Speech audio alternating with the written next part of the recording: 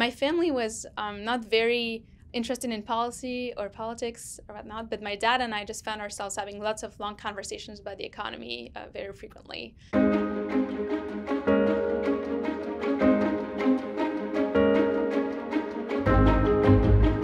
Hi, I'm Elise Amez-Droz, and I'm the program manager of the Open Health Project. So I grew up in Switzerland, and so was a quite different experience being there.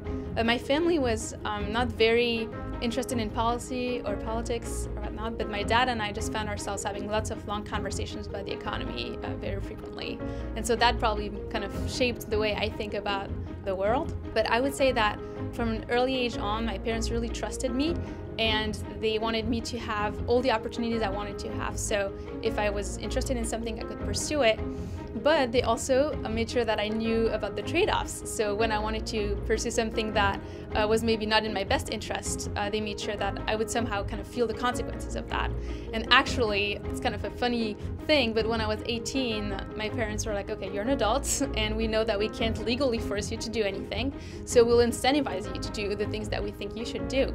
And actually, they gave me a little contract, like crazy enough, a contract of three to four pages, where uh, they kind of laid out different options. Like, if you go to college, we'll give you, you know, this much money, we'll pay for this much, and um, you can do that. And then grad school, if you're interested, uh, will also help with that. If you go on and do a, a gap year, which is something that I was interested in doing, um, then the system would be a little different. I would have to pay a little more out of my own pocket.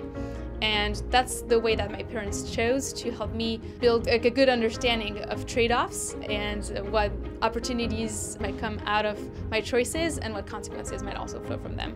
So that shaped the way I think. And so looking at what I do now, it makes a lot of sense that I would have ended up at Mercatus in terms of understanding incentives. This is something that is very close to um, all our scholars' hearts to think about the unintended consequences of choices.